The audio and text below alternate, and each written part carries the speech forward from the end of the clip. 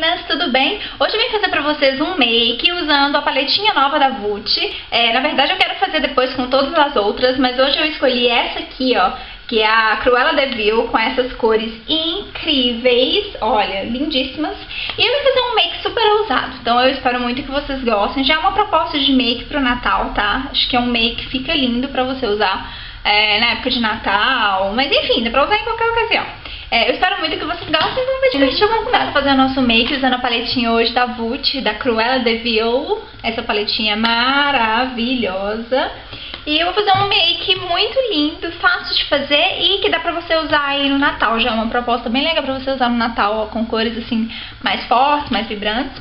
Então vamos começar. Primeira coisa, eu vou uh, aplicar um pouquinho de corretivo aqui abaixo da minha sobrancelha. Eu vou usar esse corretivo aqui da Criolan. Ele é o D4, tá? Com pincelzinho de seda sintética. Vou pegar um pouco desse corretivo. Minha sobrancelha já estava preenchida. Vou só fazer um desenho aqui, ó. Aqui pra deixar ela mais perfeitinha. Muitas pessoas me perguntam o que, que eu faço pra deixar minha sobrancelha perfeitinha. É isso aqui, tá? Eu uso um corretivo e eu faço isso também só ah, maquiagens elaboradas, maquiagem assim, quando eu vou sair e tal. Não é todo dia, não.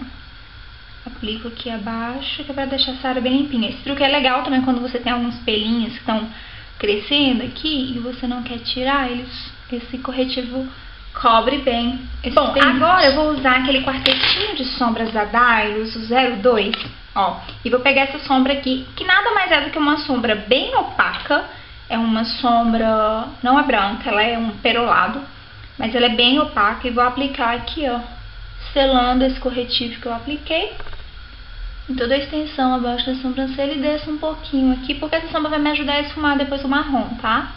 A paletinha da Vult. Eu vou usar primeiro esse marronzinho aqui, gente, que é simplesmente lindo, maravilhoso esse marrom. É o aquele, sabe aquele marrom perfeito para fazer esse esfumado no côncavo? É esse aqui. Então eu vou usar primeiro e esse vou vir com um pincel bem fofinho. Um pincel assim, esfumar bem gordinho, ó. Essa sombra aqui no meu côncavo, ó. Eu já vou aplicar esfumando. Olha que lindo que é esse marrom, gente. Ele é aquele 29 da Vult, sabe? Eles colocaram na paleta. Eu acho que ele ainda é mais bonito do que o 29 da Vult, na verdade. E vou esfumando bem aqui, ó, levando lá pra cima, mesclando com aquela sombra mais clara que a gente aplicou antes. Ó, esfumei o marrom. Agora eu vou pegar um outro pincel, um pincelzinho assim, ó, de pálpebra mesmo, normal. E vou pegar essa sombra aqui da paleta, que fica do lado do marronzinho, que é uma sombra assim, é um marrom também, mas é um marrom um pouco mais escuro. E ele tem um pouquinho de cintilância. E vou aplicar no côncavo mesmo aqui, bem na dobrinha do olho, ó.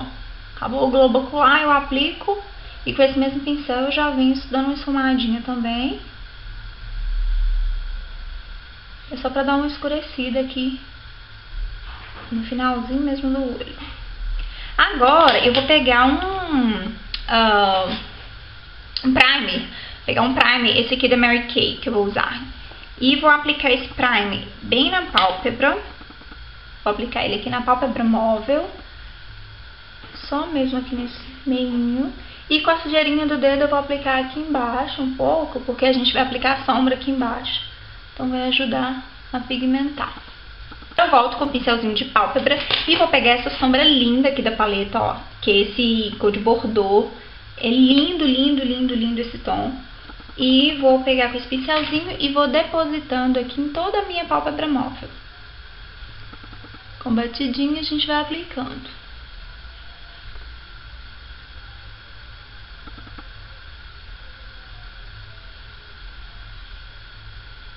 Pronto, ó, gente, apliquei bem até a linha do côncavo aqui.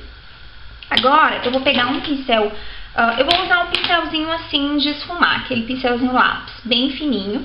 E vou pegar a sombra preta dessa paleta, que é essa aqui, ó. Ela é mega preta, gente, super opaca e ela é bem pretinha. Tanto que eu vou pegar bem na pontinha do pincel mesmo, porque eu vou fazer só um detalhe aqui, ó. A gente vai aplicar essa sombra aqui no cantinho, fazendo um Czinho mesmo, ó. Não é nem aquele V puxadinho não, tá? A gente faz um Czinho assim, ó. Mas bem cantinho, ó. Aplico e já dou uma esfumadinha aqui no côncavo, tá vendo?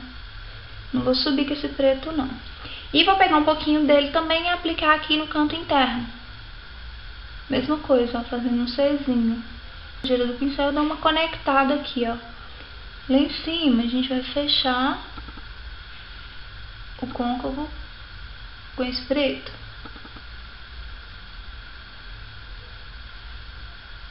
Por isso que é legal a gente ter várias sombras antes, vários tons de marrom e tal. Porque aí, gente, na hora que a gente vem aplicando essa sombra preta, não vai ficar tão forte e vai ajudar a esfumar, esfuma bem, sabe? Agora eu vou voltar com o pincelzinho esfumar, que eu usei com marronzinho, e vou mesclar aqui, ó, pra tirar essa marcação. Pode pegar mais um pouquinho do marrom, só pra ajudar a mesclar, fica bem esfumado. Aquele som, com aquela sombra bordô que a gente aplicou e reaplicar um pouquinho aqui no meio, porque acaba que vai uh, sumindo um pouco, né, a cor quando a gente começa a esfumar outros tons e tal. Aí eu aplico um pouquinho mais, só pra realçar, deixar bem vivo, bem viva essa cor aqui, ó. Prontinho, gente, o olho tá pronto, é isso, muito fácil de fazer. Agora eu vou fazer aqui a parte de baixo, eu vou usar um lápis preto em toda a linha d'água, esse lápis que eu tô usando é da Marquette. Aplico na linha d'água, com bastante vontade mesmo. E vou deixar sujar um pouquinho aqui embaixo. Agora, para selar esse lápis aqui embaixo, eu vou vir com um pincel bem pequenininho, que é um pincel mesmo de aplicar sombra aqui abaixo do olho. E vou vir com a sombra marrom, que a gente usou no côncavo. Vou aplicar ela aqui, ó, para poder selar mesmo esse lápis preto. Depois, com o mesmo pincel, eu volto com o tom de bordô, tá? Aquele que a gente usou. Na pálpebra, para dar um toque aqui embaixo. Sim, agora a gente vai fazer o delineado e depois aplicar cílios postiços. Eu vou usar o meu delineador da Mary Kay, delineador em gel. Uh, e vou fazer um delineado, não um delineado aqui, ó.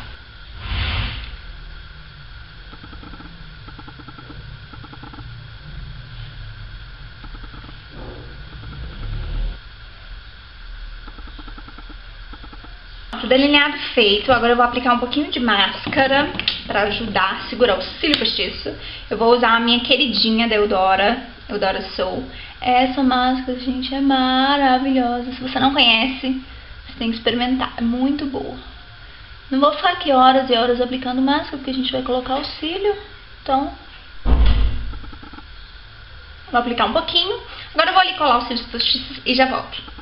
Amores, cílios postiços aplicados, agora eu vou aplicar um pouquinho mais de máscara, que é pra deixar o cílio bem grandão e bem volumoso.